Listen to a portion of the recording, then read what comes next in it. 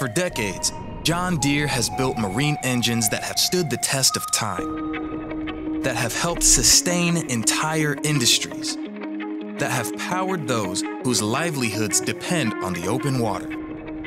But the tides are changing, and the industry is evolving. It's time for a new era in power.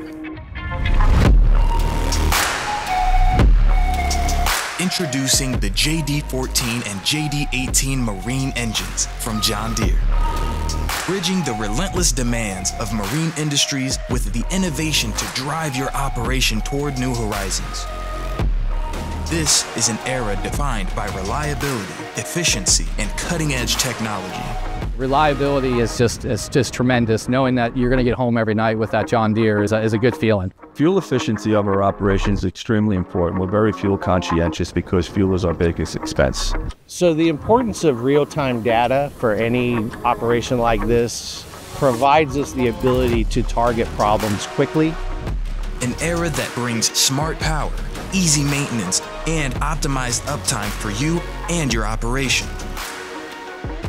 I love the John Deere personally. The layout of the engine, everything. You can get to everything on it. For a mechanic like me, like that's what you want.